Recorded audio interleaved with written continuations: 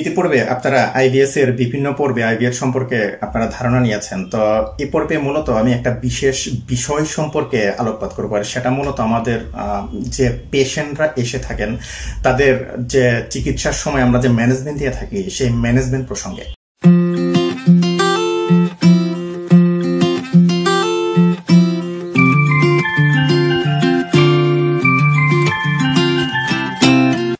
প্রিয় দর্শক স্বাগত আপনাদের।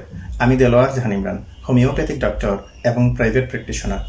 অলরেডি আপনারা জেনেছেন যে আইবিএস কি এবং এর পিছনে যে কি কি প্রকৃত কারণ রয়েছে এবং প্রকৃত লক্ষণ এবং উপসর্গ রয়েছে এবং এর কি কি প্রকৃত ট্রিটমেন্ট ম্যানেজমেন্ট হতে পারে।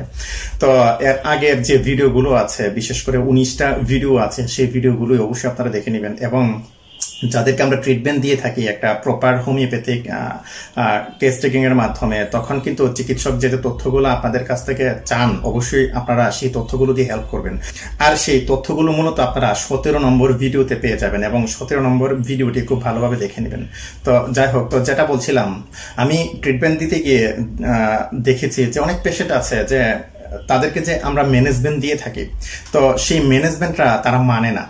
ট্রিটমেন্ট দেওয়ার সময়, যার কারণে দেখা যায় যে মেডিসিন প্রয়োগ করার পর যে আশানুরূপ যে ফলাফল আমরা আশা করি, ডাক্তাররা অর্থাৎ চিকিৎসকরা আশা করে থাকেন, সেই আশানুরূপ ফলাফলটা ইনস্ট্যান্টলি তারা পায় না। তো এখানে যে বিষয়টি আপনাদেরকে বলব, আপনারা দেখবেন যে ইন্টারনেটে বা অনলাইনের বিভিন্ন জায়গায় ফেসবুক বলেন ইউটিউব বলেন, অথবা বিভিন্ন সোশ্যাল নেটওয়ার্কে বিভিন্ন চিকিৎসকরা আপনাদেরকে কিন্তু গদ, বাধা, বিভিন্ন রকম ট্রিপস এন্ড ট্রিক্স দিয়ে বেড়াবে।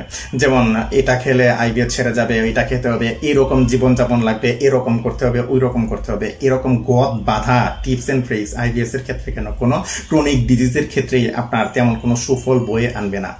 তো এখানে কেন আমি এই কথাটা বললাম? কারণ হলো, আমরা যে পৃথিবীতে আসছি, আপনি দেখবেন যে এক একজনের কনস্টিটিউশন কিন্তু এক এক রকম। একই মায়ের পেটের সন্তান, দুই ভাই, দেখবেন যে এক একজনের চেহারা এক এক রকম, চালচলন এক এক রকম।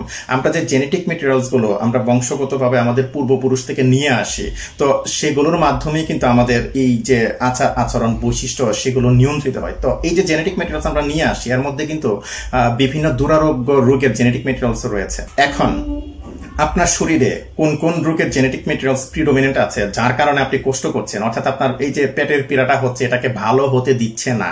আমি সবসময় একটা কথা বলে থাকি, আপনার ছোট্ট একটা সমস্যা, আপনার পেটে ধরুন একটা সমস্যা হচ্ছে বা একটা চরম রোগ হচ্ছে, এটা কখনো ভালো হচ্ছে না। এই ওষুধ দিচ্ছেন, ওষুধ খাচ্ছেন, এই সেরে যাচ্ছে, আবার হচ্ছে। যখন এই দীর্ঘদিন যাবৎ দেখবেন এই ছোট বিষয়টি ভালো হচ্ছে না, তখনই মনে রাখবেন যে আপনার ভিতরে বিশাল বড় একটা রোগ শিকড় গেড়ে আছে। যতক্ষণ পর্যন্ত না প্রপার ওয়েতে অর্থাৎ হোমিওপ্যাথিক নিয়মে ইনভেস্টিগেশন বিশ্লেষণ করে আপনার জেনেটিক মেটেরিয়ালস অর্থাৎ আপনি কি কি দুরারোগ্য রোগের জেনেটিক মেটেরিয়ালস আপনি প্রাপ্ত হয়েছেন জন্ম থেকেই, তো সেগুলো নির্ণয় করে, সেগুলোর মধ্যে যেগুলো প্রিডোমিনেন্ট বা ডোমিনেন্ট আছে, অর্থাৎ প্রকট আছে, তো সেগুলোকে নিস্তেজ করা না হবে। ততদিন পর্যন্ত দেখবেন যে আপনার এই যে লক্ষণ এবং উপসর্গগুলো আছে, হতে পারে এটা পেটের সমস্যা, মাথার সমস্যা বা শরীরের যে কোনো জায়গায় সমস্যা, এটা কিন্তু কখনোই যাবে না। অর্থাৎ ঠিকঠাকভাবে ভালো হবে না। আর যদি অন্য প্রস্তুতিও আপনি অবলম্বন করেন স্থূল মাত্রার মেডিসিন প্রয়োগ করে বা রাসায়নিক মেডিসিন প্রয়োগ করে, তো চেপে থাকবে। অর্থাৎ আপনি যে কষ্টটা নিয়ে আছেন, আপনার পেটের কষ্ট হতে পারে হতে পারে সেটা পাতলা পায়খানা আমাশা ঘন ঘন আমাশার প্রবণতা বা কোষ্ঠকাঠিনের প্রবণতা, এর সাথে পাইলস ফিসার তো যেটাই হোক না কেন, এই যে সমস্যাগুলো আপনার হবে, তো এই সমস্যাগুলো কিন্তু চেপে থাকবে, লক্ষণগুলো কিন্তু হাইট হয়ে যাবে, আপনার কষ্টটা চলে যাবে। আবার যখন মেডিসিন বাদ দিয়ে দেবেন, আবার কিন্তু ফিরে আসবে। কারণ হলো, আপনার ভিতরে যে মূল রোগটা আছে, এটা নিয়ে কিন্তু আপনি আদৌ ভাবছেন না। তো যে বিষয়টা সম্পর্কে আমি গুরুত্ব দিয়ে থাকি আর সেটা হলো, এই যে আমি আপনাদেরকে বলছি যে এক একজনের কনস্টিটিউশন এক এক রকম। আপনি দেখবেন যে কিছু কিছু মানুষ কিছু কিছু খাবার খেতে পারে না, আবার কিছু কিছু মানুষ দেখা গেল যে এই খাবার গুলাই কিন্তু খেতে পারে। আপনি কখনোই আরেকজনের সাথে আপনার তুলনা দিতে পারবেন না, কারণ অলরেডি আমি বলেছি এক একজনের কনস্টিটিউশন এক এক রকম, এক একজন এক এক রকম জেনেটিক মেটেরিয়ালস প্রাপ্ত হয়েছে। তো এখানে যে বিষয়টা হলো, আপনার ইনভায়রনমেন্টে যা কিছু আছে, সবই কিন্তু মানুষের জন্য। কিন্তু আপনার জন্য কোনটা? সেটা যদি আপনি না বুঝেন, তো না বুঝার কারণেই দেখবেন যে আপনি রোগাক্রান্ত হবেন। আর সেই মেনটেনেন্সটা যদি আপনি ফলো করতে না পারেন, আপনি দেখবেন যে সারা জীবন আপনাকে ওষুধ খেয়ে যেতে হবে। তো এই বিষয়টা অনেকেই বুঝে গেছেন, যারা আমার পেশেন্ট অর্থাৎ আমি যাদেরকে ট্রিটমেন্ট দিচ্ছি, আমি তাদেরকে বুঝিয়ে দিই যে স্বাস্থ্য বিধিটা কি হবে। অর্থাৎ আমরা যে ছোটবেলা থেকে বড় হয়েছি, আমাদের সুস্থ থাকার জন্য, অর্থাৎ আপনি সুস্থ থাকার জন্য আপনার কি কি প্রয়োজন এবং কোন কোন বিষয়গুলো আপনি মেনে মেনে চলবেন নিয়ম কানুন মেনে চলবেন।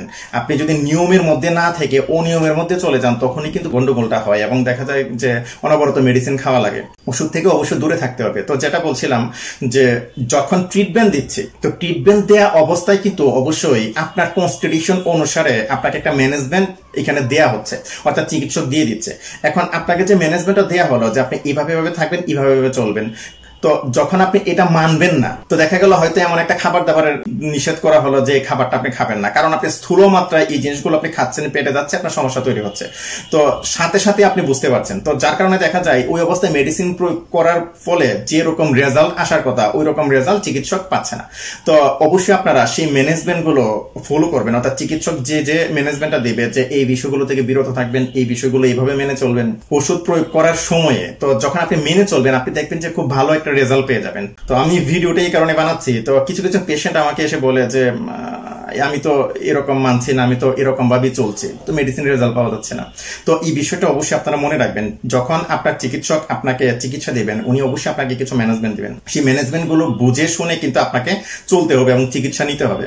তো আজকে এই পর্যন্তই। ধন্যবাদ।